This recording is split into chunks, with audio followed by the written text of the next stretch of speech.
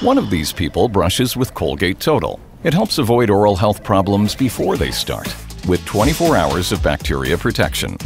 As for the other guy, Sarah, good luck. be dentist ready with Colgate Total.